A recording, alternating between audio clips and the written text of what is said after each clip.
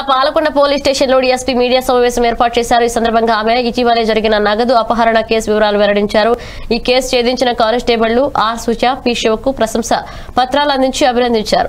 ఈ సందర్భంగా ఆమె మాట్లాడుతూ గొర్రెల అప్పలనరసయ్య అనే మహిళను తన బంధువు అని చెప్పి ద్విచక్ర వాహనంపై తీసుకువెళ్ళి తన మెడలో ఉన్న నగలు లాక్కు వెళ్ళి ఆమె వచ్చి ఫిర్యాదు మేరకు కొంత సమాచారం మేరకు అతన్ని అదుపులోకి తీసుకున్నట్లు తెలిపారు. ఈ సమా- సమావేశంలో శ్రీ శంకర్రావు ఎస్ఐ ప్రసాద్ సిబ్బంది పాల్గొన్నారు.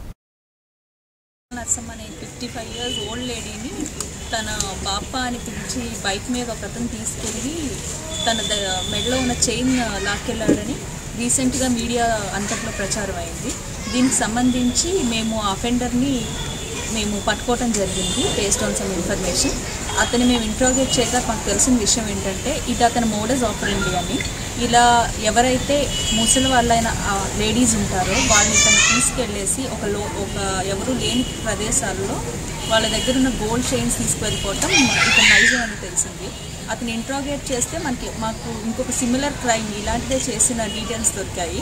దా అది వచ్చేసి లేడీ వచ్చేసి వయదవలస గౌరమ్మ అనేసి తెలి తెలిసింది మా ఇంట్రాగేషన్లో ఆవిడ దగ్గరికి వెళ్ళి మేము ఇన్ఫర్మేషన్ తీసుకోగా అలాగే ఈ అక్యూజ్డ్ ఎవరైతే ఉన్నాడో ఆమె దగ్గరకు కూడా వెళ్ళి అలాగే ఒక వన్ తులా చైన్ తీసుకున్నాడని ఇన్ఫర్మేషన్ తను కంప్లైంట్ ఇవ్వడం జరిగింది.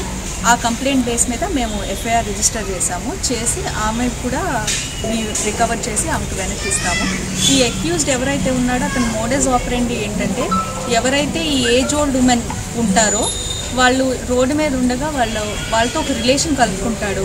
అమ్మ లేకపోతే పెద్దమ్మ అవ్వ ఇలా ఏదో ఒక రిలేషన్ కలుపుకొని ఆ రిలేషన్తో అతను బైక్ మీద ఎక్కించుకుని ఒక ఎవరూ లేని ఒక ప్రదేశానికి తీసుకెళ్ళి అక్కడ వాళ్ళ మెడలో ఉన్న గోల్డ్ చైన్స్ కానీ ఏవైతే ఆభరణాలు ఉంటాయో అవి లాక్కు వెళ్ళిపోవడం జరుగుతుంది. సో ప్రజలందరూ ఇలాంటి క్రైమ్స్ పట్ల అప్రమత్తంగా ఉండాలని పోలీస్ డిపార్ట్మెంట్ తరపు నుంచి కోరుకుంటున్నాను